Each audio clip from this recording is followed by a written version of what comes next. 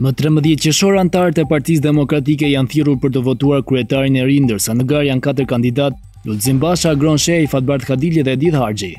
Në një proces që vjen pas humbjes në zgjedhjet e 25 prillit me shumë kontestime dhe dyshime, Basha do të synojë mandatin e tretë si kryetar i partisë më të madhe opozitare, ndërsa rivalët e tij e kanë bazuar deri më tani fushatën e brendshme pikërisht në atë se kreu aktual i Partisë Demokratike nuk jep shpresa për fitore në zgjedhjet e ardhshme.